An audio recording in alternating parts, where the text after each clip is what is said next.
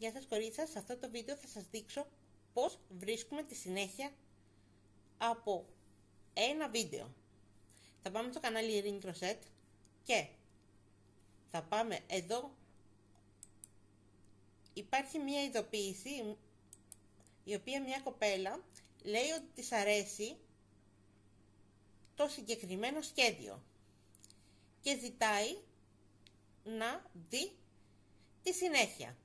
Κορίτσα, συνήθως στα βίντεο από κάτω υπάρχουν, άμα πάτε λίγο τον κέσορα προς τα κάτω, υπάρχουν σε αυτό, υπάρχει σε αυτό το σημείο οι πληροφορίες.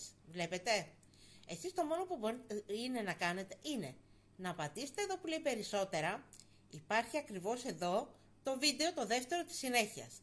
Πατάτε πάνω στο βίντεο και πάει κατευθείαν στο δεύτερο μέρος και στη συνέχεια του βίντεο το οποίο ζητήσατε. Άλλο ένα, άλλος ένας τρόπος για να βρείτε εύκολα ένα βίντεο είναι να ξαναμπούμε στο κανάλι Ring Rosette και πάμε εδώ που λέει playlist και τι ζητάμε πάμε προς τα κάτω. Π.χ. ζητάω ένας runner. Μπαίνω στην playlist runner και ψάχνω.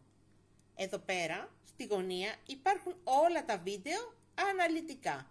Εδώ υπάρχουν 31 βίντεο. Τα πάτε προς τα κάτω και βρίσκετε το βίντεο το οποίο εσείς θέλετε μαζί με τις συνέχειές τους.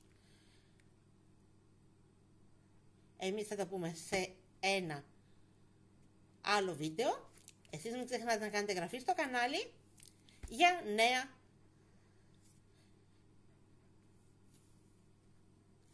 νέες ειδήσεις. Γεια σας.